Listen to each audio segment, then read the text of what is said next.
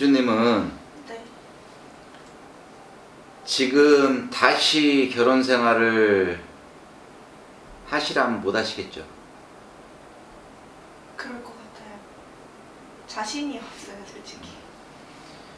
지금 현 상황에서 네. 지금 다시 그 굴레에 들어간다 치면 네. 내가 생각하는 남자 이상이나 내가 생각하는 남자의 조건을 맞추려면 그 조건이 너무 까다로워. 그렇기 때문에 남자라는 족속 자체를 생각을 안 하고 사신대요. 네. 그런 것 같아요. 지금 내가 이렇게 살면서 내가 사는 둘레 내에서 더 높은 곳으로 가기 위해서 남자를 만나지 내가 사랑해서 내가 어, 남자가 필요해서 만나는 그런 남자가 필요 없다는 얘기지. 어, 처음에는 그 전에는 이제 사랑으로만 생각하고 네. 만났었는데 네. 만나보니까 저, 저보다 어린 사람도 만나봤고 네 네. 그랬는데 이 만나보면은 한 사계, 사계절을 보니까 그게 이렇게 사람이 이 사람은 좀 어떻고 네. 보이더라고요. 네. 아 생각이 어리구나. 네. 뭐 여러 가지 다른 것도 네. 부모님한테 하는 것도 네. 어, 외모적으로는 저는 하나도 안 보는 음. 편인데 그, 그런 거에 대해서 보니까 음. 너무 어, 그러니까 만나는 사람마다 생각이 너무 어린 것 같아서 기준님은 지금 어떻게 보면 한참 이쁠 나이잖아요. 응? 이제 30대 중반인데 한참 이쁠 나이에 어려서 결혼이라는 생활을 하면서 내가 꿈꿔왔던 거에 너무 반비례되는 생활을 해왔단 말이에요. 그러다 보니 다른 사람을 만난다 하더라도 신중에 신중을 겪고 기준님 같은 경우는 성격 자체가 그래요. 내 또래나 내 밑에 애들은 좀 전에는 뭐 어, 연하도 만나봤다고 얘기는 하지만 애기 같아서 싫어. 나보다 같은 동성을 만나더라도 나보다 윗사람을 만나서 이야기를 나누고 그 사람들하고 노는 게 재밌던 분이세요. 기준님은 본래가. 근데 남자를 만난다 하더라도 그래. 남자도 마찬가지야. 그런 둘레에서 살았고 더더군다나 기준님은 남자를 만났다 치더라도 남자를 휘어잡고 살아야 돼. 내 손아귀. 내 손아귀에서 내가 뭘 하는 거에 따라서 이러쿵저러쿵 이러쿵저러쿵 그렇게 살았으면 하는 분이 기준님이세요. 맞아요 생각해보니까 전 남편도 거의 그렇게 했던 네. 것 같아요 그러고 기준님은 그 지금 하시는 일도 마찬가지야. 하시는 일도 다른 사람들이 보면 정말 뭔가 하나를 맡겨놓으면 똑부러지게 해. 내 일에 대해서는. 하지만 본인 본인 자신의 자신의 일, 본인 자신의 일은 정말 바보처럼 못 하시는 분이 또 기준님이세요. 음. 네. 그렇기 때문에 다른 사람들은 상당히 이뻐해. 일을 시키는 입장에서는 정말 뭔가를 던져놓으면 그걸 100%다 완수를 해오니까 정말 똑소리 나게 해갖고 오니까 일을 시키는 입장에서는 상당히 좋아. 하지만 본인 스스로의 일에서는 빵점이야 빵점. 응? 내 관리할 줄도 모르고 나란 사람이 어떤 사람인지를 딴 사람한테 어필할 줄도 모르고 어? 지금까지 그렇게 살으셨어. 애만을 위해서 살았던 거 네. 그렇다 한들 그 아이가 엄마만 봐. 그건 아니죠 그죠? 어. 그 아이도 생각할 수 있는 이성이 있기 때문에 그 아이가 엄마, 아, 우리 엄마, 우리 엄마 나만 보고 사니까 우리 엄마 불쌍해. 예? 우리 엄마 내가 크면 이렇게 해야지. 지금은 그러겠지만, 시간이 가면 가면 갈수록, 아, 우리 엄마는 왜 그래? 응? 너무 고리타분해. 그런 얘기가 나올 수가 있단. 맞아요 제 동생도 친동생도 음. 저보고 꼰대 같다고 네. 그런 분이 기준님이세요. 그렇기 때문에 내 생각 자체를 조금 바꾸셔야 돼. 그러고 기준님이 어디 가서 누구한테 아쉬운 소리 하고 뭐 그런 분은 아니시잖아. 정말 열심히 살고 내 것만을 위해서 사는 사람이란 말이야. 나만을 위해서, 내 가족만을 위해서, 내 아이만을 위해서. 어? 근데 뒤로다가는 구설이 너무 많아 근데. 네. 그것 때문에 진짜 머리가 많이 아프다고. 네. 본인은 기준님은 누구 하나한테도 해를 끼친 적이 없거든. 근데 딴 사람들 입에 오르내리는 거는 진짜 완전 죽일년이야. 어? 그렇게 구설을 타시는 분이시라. 왜 이렇게 구설이 많은지 모르겠어요. 일을 너무 잘해서 그래요. 너무 똑똑해서. 응? 제가 좀 전에 말씀드린 것처럼 일에서만큼은 내가 기준님은 꽁돈이라는 거 공짜라는 걸 모르고 사는 사람이죠. 어? 내가 일한 만큼만 벌고 내가 일한 만큼만 그 대가를 치르면 되는 사람이세요. 네. 그렇게 살아오는 사람인데 다른 사람들이 보기에는 너무 우리하고 차이나게 일을 하는 거 아니야? 그 정도로다가 본인의 일처럼 이렇게 하신단 말이야. 하면서 뒤로다가는 내 나를 좀 관리를 하고 나를 좀 음? 단장하고 꾸미고 해야 되는데 그런 건 전혀 없으니까 다른 사람들이 보기에는 참 어떻게 보면 이런 표현을 써도 되는지 모르겠지만 꼽다? 꼽다? 네. 그런 생각을 하는 사람들이 많을 거예요. 아니 꼽다.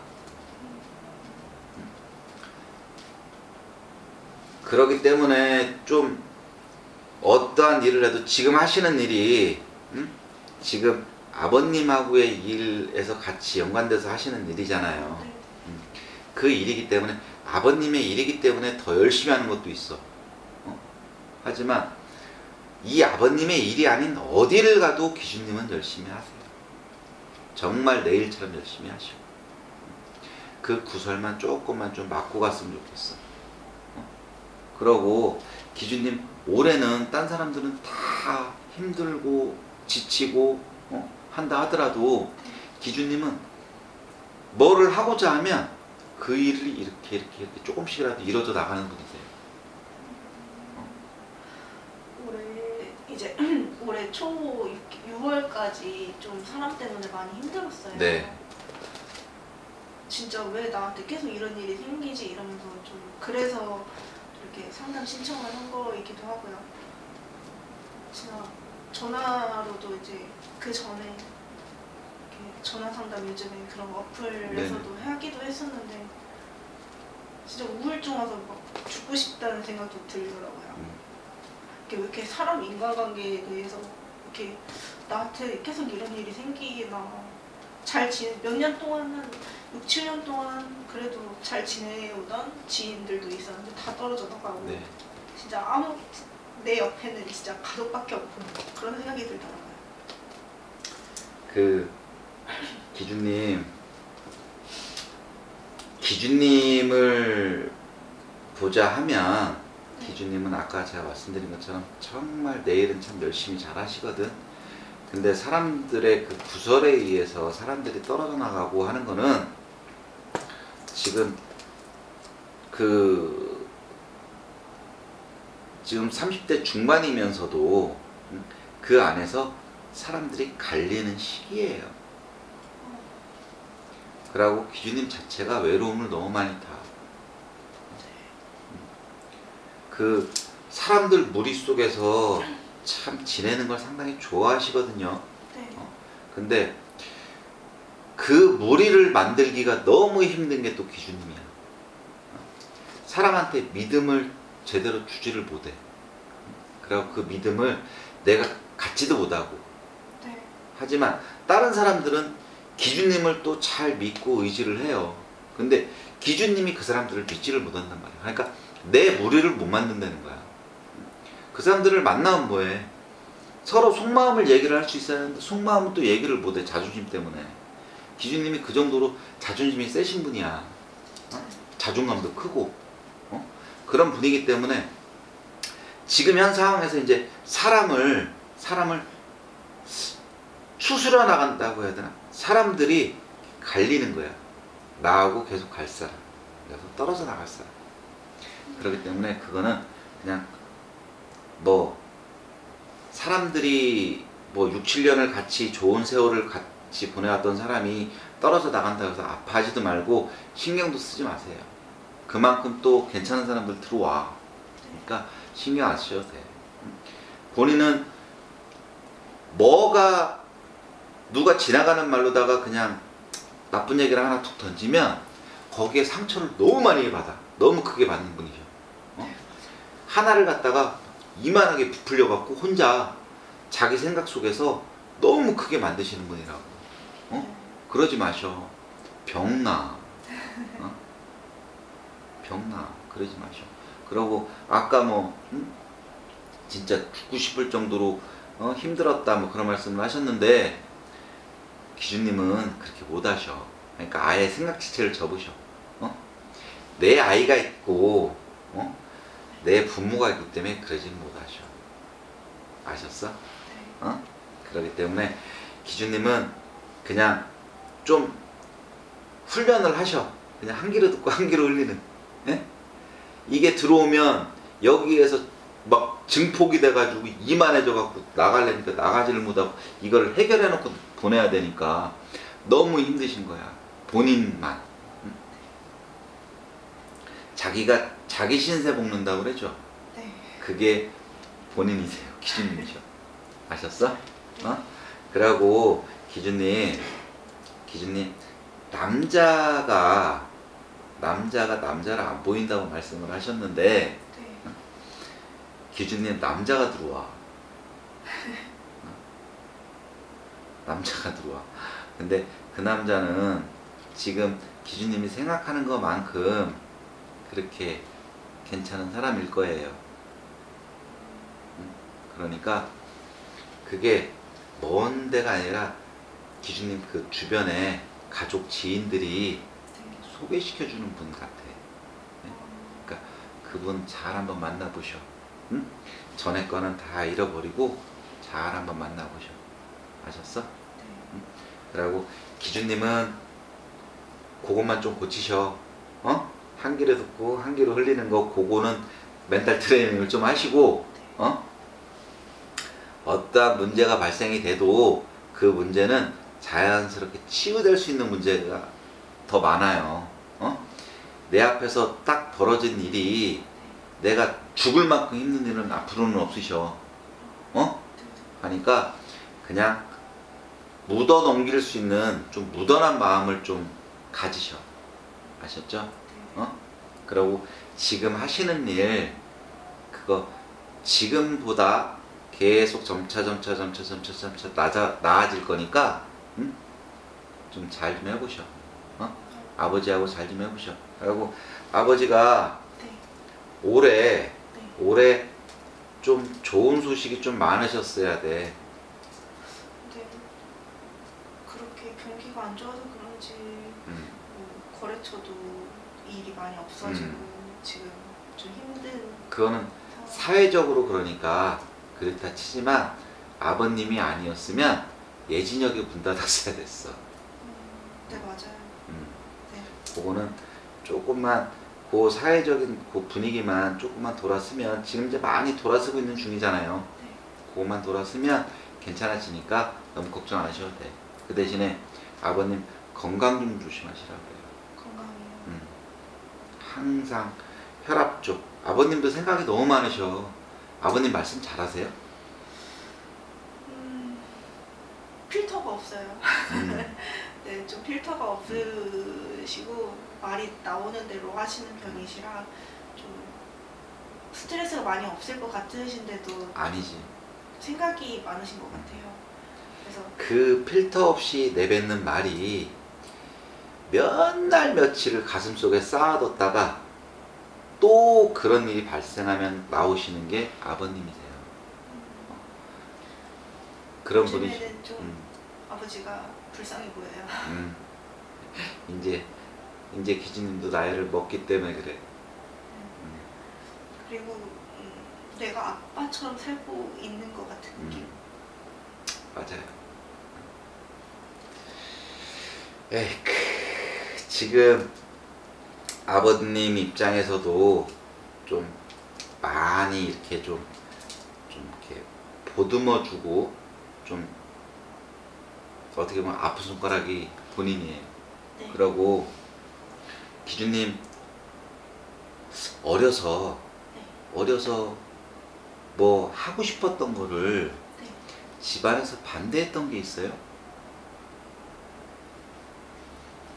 20대 막 들어서면서.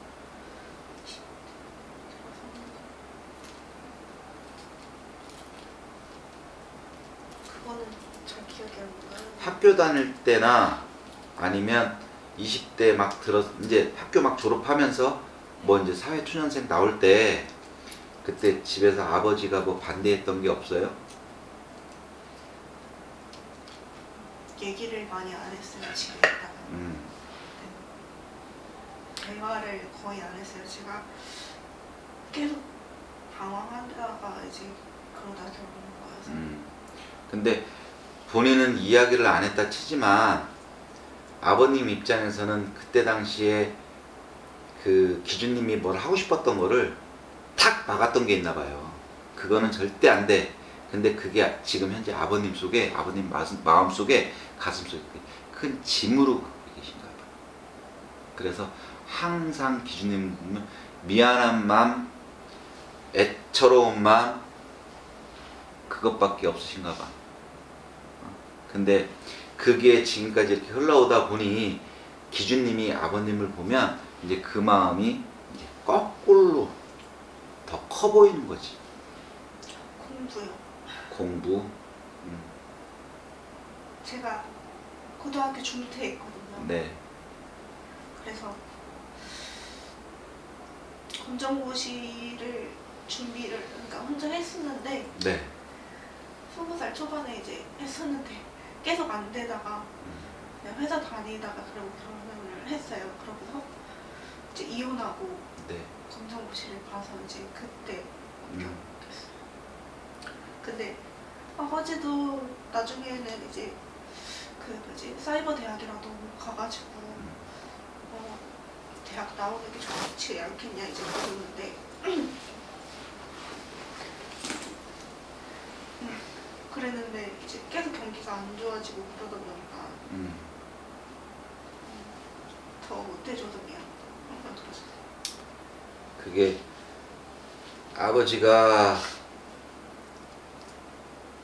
그게 가슴에 못인가 봐. 너무 자기 가슴에 큰 짐이고 그게 아버지가 그런 생각이 있으세요. 어, 본인은 어려서 많이 못 배우셔가지고 초등학교도 졸업 못 하셨다고 네. 했어요. 그래갖고 음, 근데 이제 동생은 대학까지 나와서 이제 공무원 시험도 몇 년 준비하고 공부에 대해서는 많이 지원을 아낌없이 해줬는데 네. 이제 저는 제가 고등학교 중퇴 하고 나서는 제가 다 벌어서 제 음. 생활비는 다 썼거든요. 음, 그런 거 이제 해줘 해, 해줘야 될 때 많이 못 해주신 네. 게 많이 음. 이제 남아 계신 거. 그런가 봐요. 그게 있어서 진짜 지금에 와서는 뭐가 필요하다, 뭐를 하고 싶다 하면 아버님이 다 모든 걸 다 해주고 싶으신가 봐요. 그런 마음이신가 봐요. 그러니까 그 전에 있었던 거 본인도 가슴속에 담아있고 있는 거를 좀 버리시고 아버지도 마찬가지예요. 아버지도 그거를 조금씩 조금씩 깨내셔야 돼. 진짜 둘 다 너무 서로 말도 안 하면서 가슴 속에만 담고 응어리로 갖고 있으니까 그게 나중에는 병이 될 수 있어. 어? 그러니까 그러지 마시고 기준님이 먼저 다가가. 아버지한테 다가가서 하나하나 좀 깨뜨리세요. 아셨죠? 지금은 누구보다도 두 분이서 말이 잘 통할 거야. 어? 네 맞아요. 음, 아버지도 뭔 집안에 무슨 일이 있거나 뭐가 하면 기준님하고 좀 상의를 좀 많이 하실 거예요. 네. 음, 하나하나. 그만큼 내가 믿는다는 거야. 아버님. 아셨죠? 그러니까 이렇게 하시고 그 새로 들어온 남자 그 남자 잘 만나보셔 하고 지금 하시는 일 어? 점점 점점 더 잘 돼갈 거니까 너무 걱정하지 마시고 구설은 구설은 시간이 가면 다 잊혀지고 없어져요. 응? 내가 죽을 만큼 힘든 일은 이제 없어. 하니까 기운 내서 잘 살아보셔. 아셨죠? 음, 그리고 올해보다는 내년에 낫고 내년보다는 그 후년에 낫고 하신 분이 기준님이니까 잘 버텨오셨어. 잘 버리셔야지. 아셨지? 네. 김사장님,